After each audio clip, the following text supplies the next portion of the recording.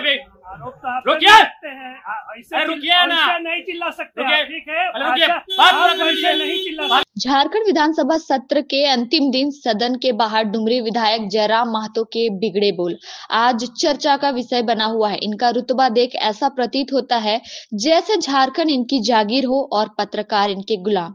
एक जनप्रतिनिधि का इतने खराब भाषा में पत्रकारों के साथ संबोधन को आप समझ ही सकते हैं कि कैसे जनप्रतिनिधि को चुनकर भेजे हैं। आइए देखते हैं पूरा वीडियो में सुने शिवाजी रुकिए अभी तो रुकिए। सकते हैं आ, ऐसे रुकिए ना। नहीं चिल्ला सकते रुकिए। ठीक है रुकिए, बात पूरा।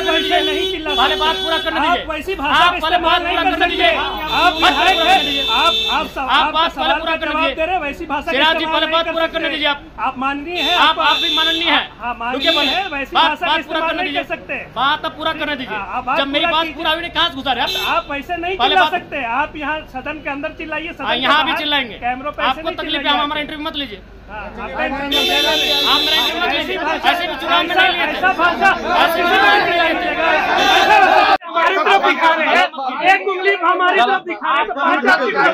आईडी हटाओ ऐसे ही करेंगे कैसे लोग आईडी हटाइए ऐसे कैसे कीजिएगा ऐसे नहीं भाई आप आप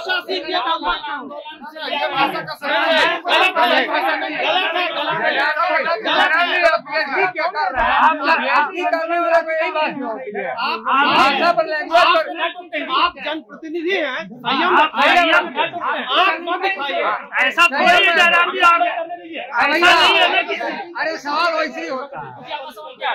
दिल्ली से झारखंड की तुलना नहीं होती? नहीं तो सवाल नहीं अरे